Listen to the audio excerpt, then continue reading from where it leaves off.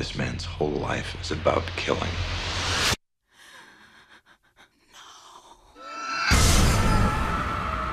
He'll watch her for weeks. Learn her routine when she comes home, when she goes to sleep. In the morning, before the sun comes up, he can walk right up next to her. You blame yourself for the killings. Oh no, I blame the person who did them. Don't you know I did it for you?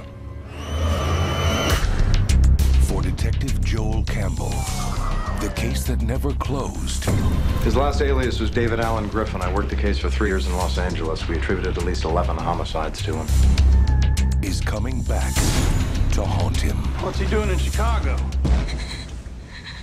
I assume he's still strangling young women with piano wire. There's a story, a ritual that he follows. Over the years, I became part of the story.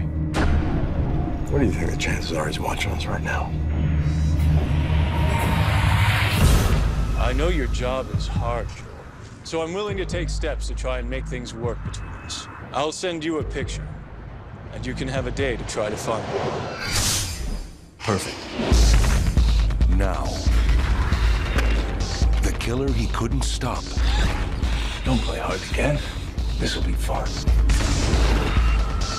Has come calling We have received another photograph. for his next victim. Do you think some of your patients might pay to come to see you because you're very pretty?